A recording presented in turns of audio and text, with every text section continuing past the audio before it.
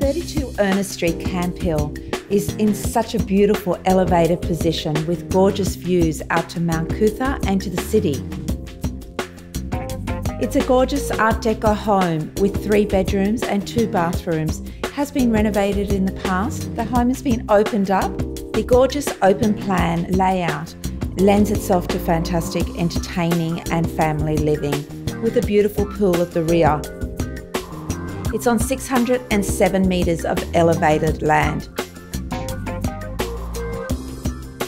The demolition order does give you the option of coming in and creating your own dream home or coming in and enjoying the beautiful home that is here.